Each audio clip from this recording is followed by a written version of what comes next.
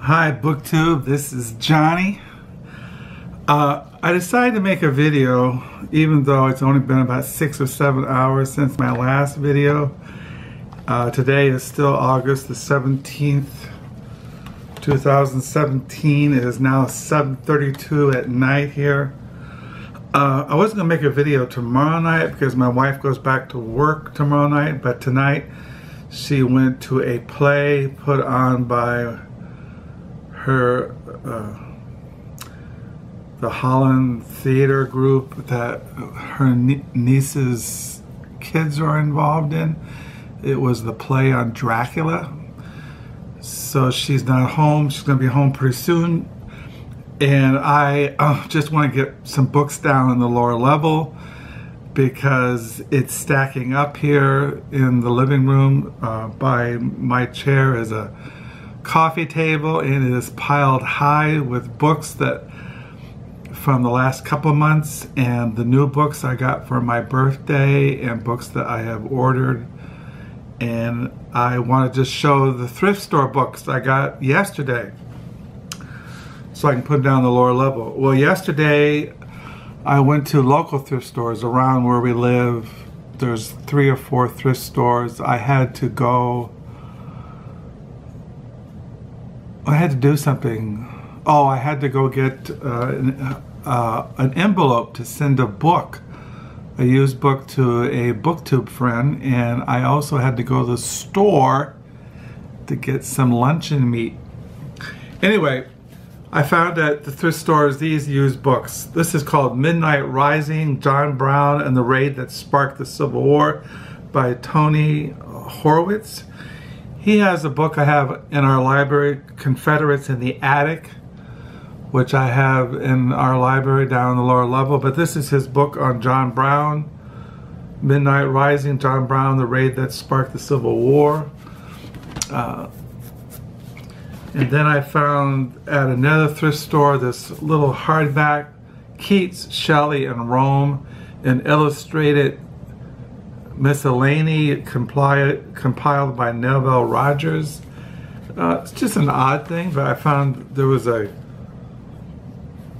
a little postcard in here of Keats and Shelley's Memorial House, 26th Plaza de Spada, Rome that was in here. It's just like it has Keats on his deathbed.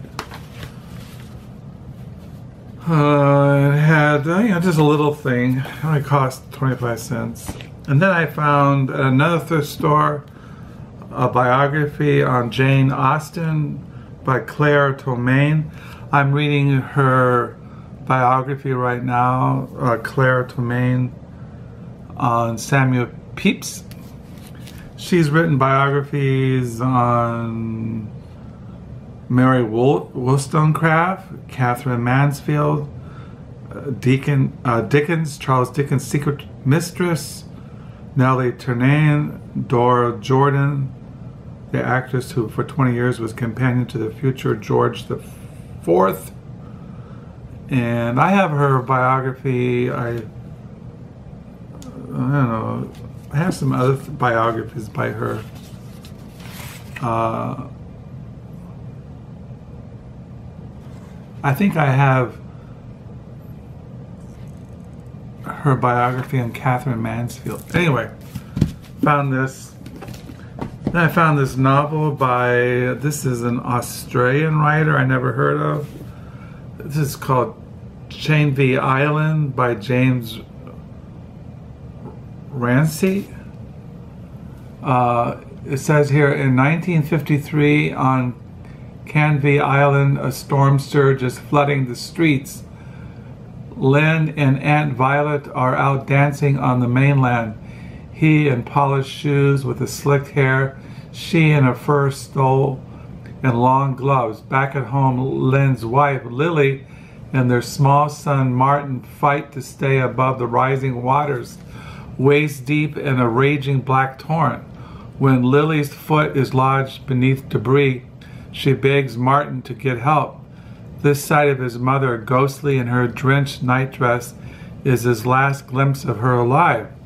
Lily's death is unbearable is an unbearable rupture in Martin's life that led to a host of unwelcome developments, not least that his father's growing closeness to his flashy Aunt Violet.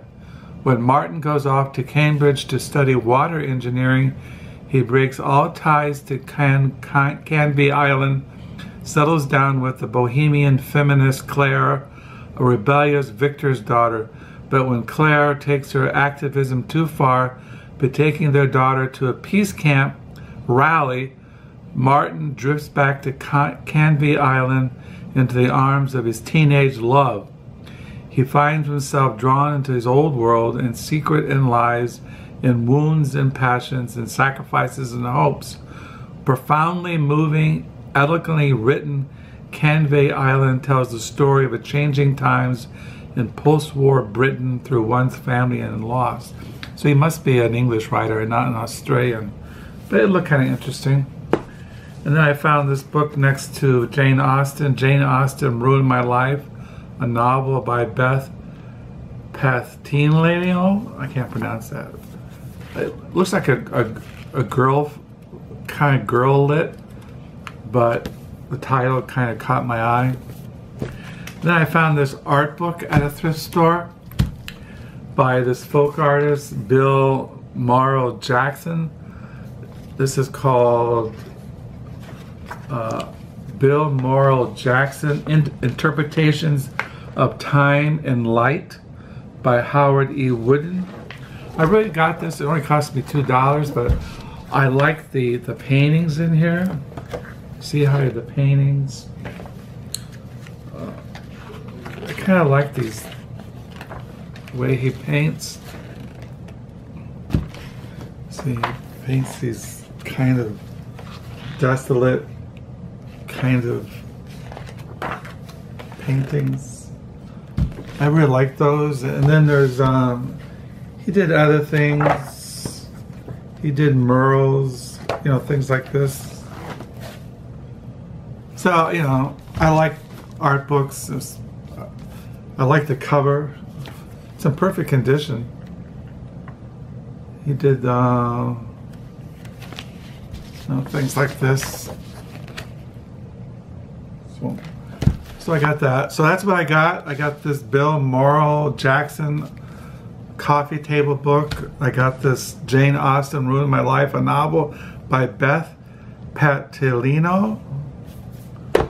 And I got this novel, Canvey Island, by James Runcie, Runcie, and this biography on Jane Austen by Claire Tomalin. And then I found this little odd thing, Keats and Keats, Shelley in Rome. And then I found this Midnight Rising, John Brown and the Raid That Sparked the Civil War by Tony Horwitz. So those are the things I found at thrift stores yesterday. I haven't gone to the thrift stores north of Holland.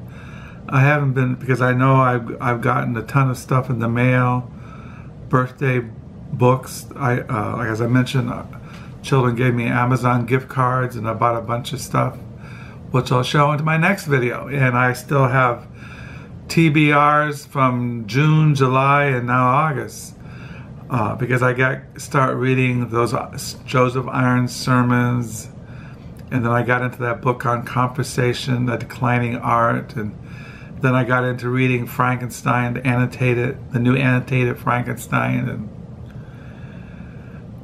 so who knows? And I've been reading those, and I start reading that biography on Mary Wollstonecraft, and, and then I got that biography, the the Romantic Outlaws, The Life of Mary Wollstonecraft and Mary Shelley. So it just goes on and on. I got books coming in the end of this month. So yeah, plus there's my writing. I have to write my diary and I have to dream. I have to talk to my wife. My wife will be gone next week, so I have six days by myself. Maybe I'll make a video every evening while my wife is gone and I'll talk about what I have done throughout the day what I've been reading. I'm always reading, I'm always writing, I'm always thinking, dreaming, sitting here in silence. I was wondering, we have the solar eclipse coming Monday, and I am hoping that it'll be the second coming of Christ, that he will come on the clouds of glory. I was thinking of that passage, and Paul wrote in Thessalonians, I think it is. I think it's in Second Thessalonians. He says, uh, think it's Second Thessalonians. Maybe it's. Oh yeah, it's in First Thessalonians chapter five about the second coming of the Lord Jesus Christ. But of times and the seasons, brethren, ye have no need that I write unto you. For yourselves know perfectly, perfectly that the day of the Lord so cometh as a thief in the night. Yeah, it might come during the solar eclipse. For when they shall say peace and safety, then sudden destruction cometh upon them as travail upon a woman with a, with child, and they shall not escape. But ye, brethren, are not in darkness, that the day should overtake you as a thief. Ye are all the children of light and the children of day. We are not of the night nor of darkness. Therefore, let us not sleep as do others, but let us watch and be sober. So that's what I'm going to be doing on the, the Monday during the solar eclipse. I'm not going to be sleeping. I will be watch and I will be sober. For they that sleep, sleep in the night, and they that be drunken are drunken in the night. But let us let us who are of the day be sober, putting on the breastplate of faith and love, for a helmet and the hope of salvation. For God has not appointed us to wrath, but to obtain salvation by the Lord Jesus Christ. So I was thinking of those verses when I was thinking about the solar eclipse Monday, if that is when the Lord's coming back as a thief in the night. Uh, for yourselves know perfectly that the day of the, the day of the Lord shall, shall come as a thief, when they shall say suddenly peace and safety, then sudden destruction. So those verses come to mind when everybody's talking about the solar eclipse. I could really care less. I'm not. I'm just going to live like I do every day, just seeking the Lord, seeking His coming and uh, have my light burning. So until next time, thank you for uh, once again the birthday wishes. Thank you for the new subscribers. Thank you for the comments. And until tomorrow night when I show the books I got for my birthday, bye.